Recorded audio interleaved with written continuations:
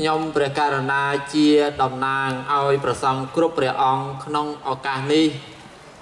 សូមពិតធរដីកាចំពោះប្រសង់គ្រប់ព្រះអង្គសូមទៀនជ្រាប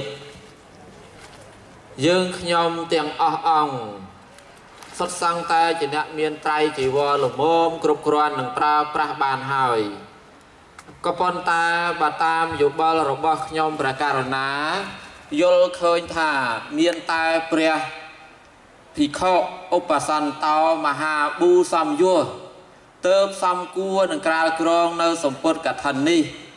ដោយលោកជាអ្នកចេះនៅអានិសង្ឃ5ចាំនៅមេតិកា8បលិពោត2អនដ្ឋតាការៈ24អដ្ឋតាការៈ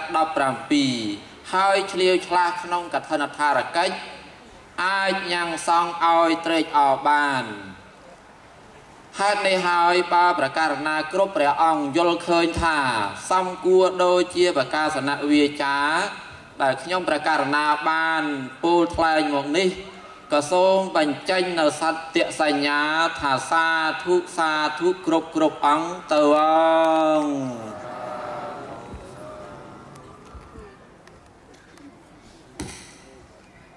អាតបនេះគឺជាការអបឡោក